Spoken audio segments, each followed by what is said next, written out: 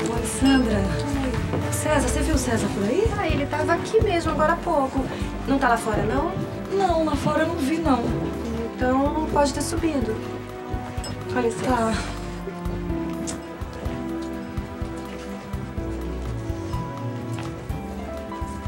O que é que você quer mais? Eu não quero mais nada. Aliás, eu quero sim. Eu quero ser respeitada, bem tratada e principalmente amada. Muito amada e bem amada. Não me faça perder a paciência, Helena. Fala direito comigo! Você tá machucando meu braço! Eu vou ficar com uma marca roxa horrível aqui que eu não gosto de exibir. Eu só gosto de marcas quando são marcas de amor e não de agressividade barata.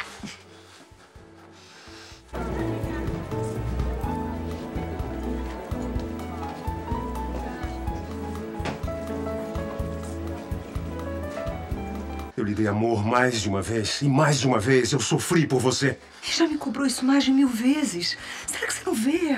A gente tá dando volta sem sair do lugar. Você cobrando de mim, me acusando, eu acusando você. Quando é que a gente vai crescer, meu bem? Quando é que a gente vai olhar pra frente e ver tudo que ainda pode acontecer? Quando?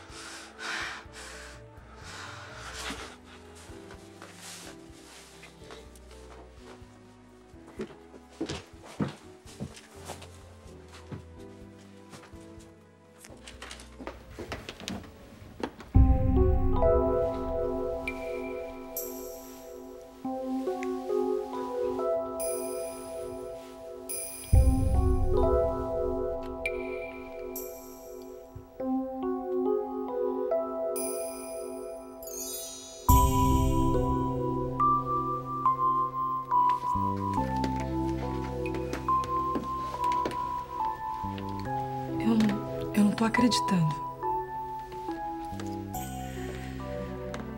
Mas é isso mesmo que você está vendo. Você é rápido, hein? Aliás, vocês, porque nenhum dos dois perdeu tempo. Ao que me conste, vocês não têm mais nenhum compromisso. E o César é um homem livre. Que fome, que gula, que furor. Pensei que você fosse mais calma, Helena. Eu não tenho que lhe dar satisfação do que faço. É verdade, eu sei que não. Mas de qualquer maneira é. É estarrecedor, né? Põe-se no meu lugar. Inverta os papéis. Você acaba de terminar sua relação com César e praticamente no mesmo dia você me encontra aos beijos com ele. O que, que você vai pensar de mim? O que, que você vai pensar dele?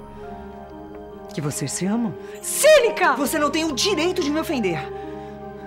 Eu me relaciono com quem eu quiser, a hora que eu quiser, o tempo que eu quiser.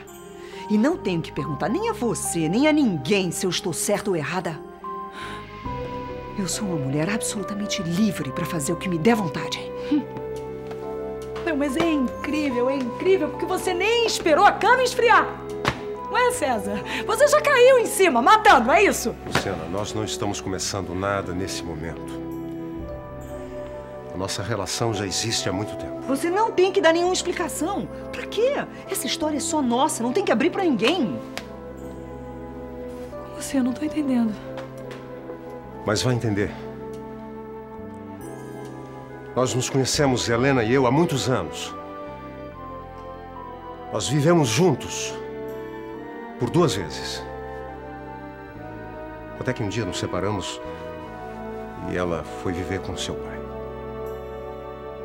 Eu fui trocado por ele para ser mais objetivo. Isso é mentira. Isso é verdade.